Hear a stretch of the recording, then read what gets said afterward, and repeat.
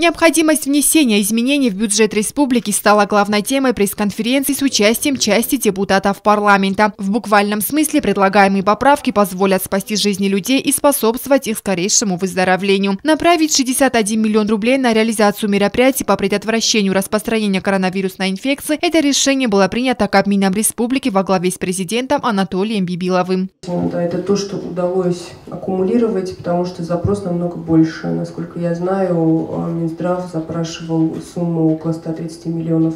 Насколько я знаю, э, еще какая-то сумма нам будет предоставлена э, российской стороной, тоже в рамках э, сотрудничества. Но все это пока не точные цифры, не точные сведения, но запрос, потребность намного больше.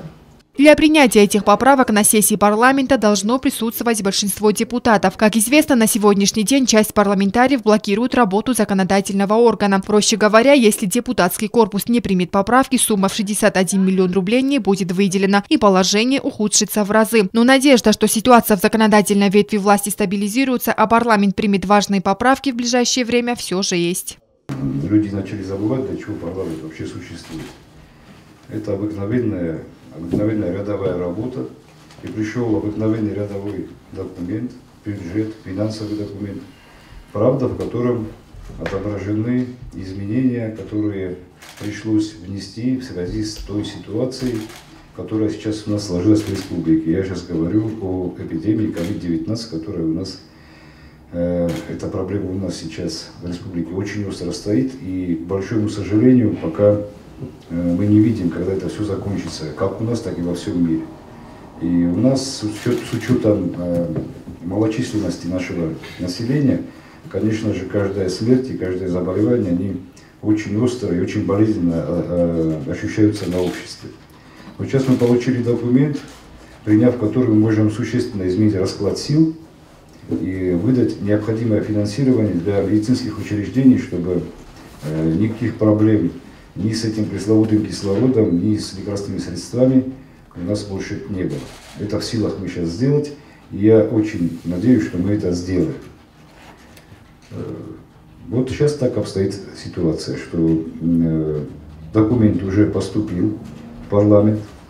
Э, вот справа от меня сидит председатель комитета по экономике, она будет его рассматривать, его комитет будет его рассматривать.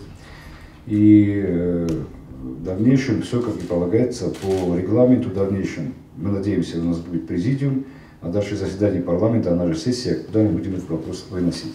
Сессии перестали э, проводиться, потому что часть депутатов э, отказывалась прийти на сессии парламента до тех пор, пока генпрокурор не будет уволен или временно отстранен от должности. И разные проблемы были, разные были, разные были конфликты разно, разнообразные были конфликты с исполнительной властью, с президентом, э, разночтение разных вещей происходило. Много вопросов. Много вопросов, и, конечно же, к этим вопросам мы обязательно вернемся. И я хотел бы напомнить, что как бы вот некоторым оппозиционерам не хотелось, но вопрос о э, генеральном прокуроре и о э, расследовании этого преступления, которое было совершено, этот вопрос поддержали и депутаты партии «Единая Осетия», как бы это ни пытались завуалировать э, значит, некоторые оппозиционные значит, наши депутаты. Э, вот э, эта пресс-конференция да, была анонсирована в средствах массовой информации, и тут же незамедлительно от одного из э, оппозиционеров, от Давида Санакоева, сразу была, появилась статья, где он говорил, что мы ни в коем случае не придем и ни в коем случае не будем голосовать и так дальше, и так дальше. Что бы я хотел сказать? Во-первых, э, таким образом Давид Садакоев пытается себя позиционировать как единым лидером той оппозиции, которая сейчас сложилась в парламенте, что, разумеется, ну, скорее всего, не составляет, не является действительностью. Я исхожу из того, что мне говорят другие депутаты, которые также ну, да, стоят в этом а, оппозиционном блоке. Да. Ну, э, что я могу сказать? Обыкновенно элементарный пример приведу. Даже животные, звери, когда бывает какое-то стихийное бедствие, будь то пожар, наводнение, засуха и все что остальное, они перестают кусать друг друга, они перестают убивать друг друга. Во время засухи и лев, и там лань, они пьют из одного источника. И спасаясь от пожара тоже они бегут вместе, и никто никого не трогает. Это неписанный закон леса, так скажем. Вот там даже звери понимают, что это общая беда, общая беда, и в которой нужно действовать сообща. Еще раз повторю, что вопросы есть. Вопросы есть и к правительству, и вопросы есть и к руководству, э, значит, Министерства здравоохранения. Их миллион. И они, из них, многие из этих вопросов, они вполне и вполне, значит, они справедливы. Эти вопросы никуда не уйдут. Они будут задаваться, они будут заданы, они будут подниматься, но это будет после. Это надо делать после того, как мы выйдем из этой ситуации.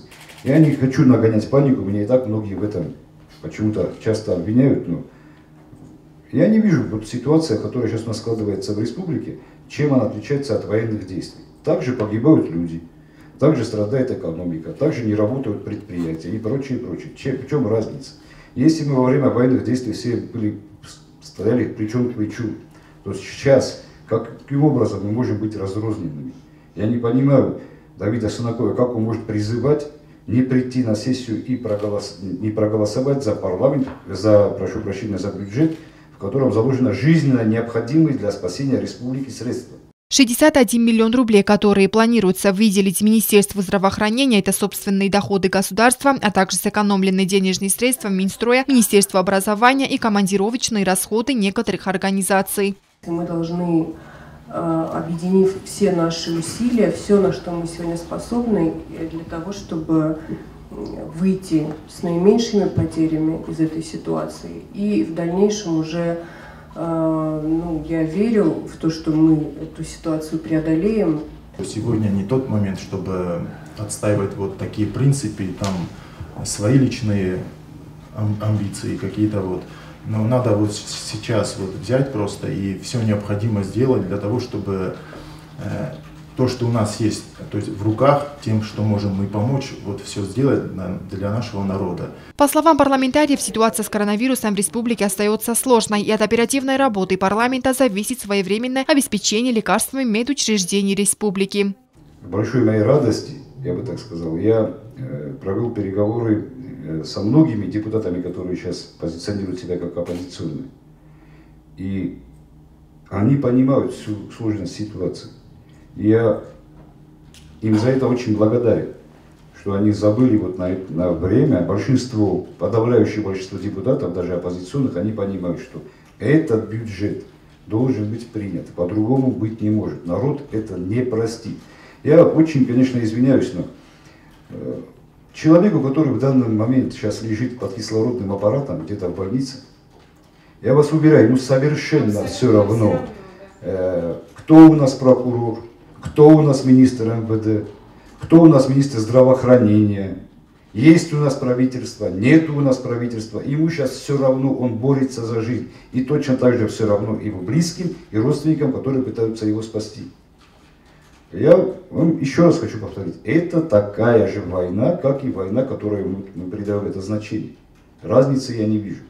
Я больше, чем я уверен практически, практически на 100%, что большинство депутатов это порядочные и ответственные люди, которые понимают, чем может закончиться отказ от принятия данного бюджета. Я уверен, что они придут на сессию и проголосуют.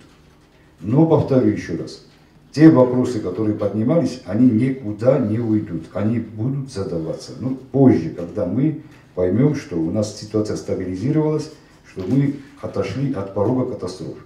В заключении пресс-конференции представители парламента еще раз призвали своих коллег проявить ответственность и благоразумие перед своими избирателями и принять жизненно важный документ. Ведь только общими усилиями можно победить опасный вирус COVID-19. Анжела Кукоева, Сармат Кузитаев, Зарей Марсоева. Информационный выпуск сегодня.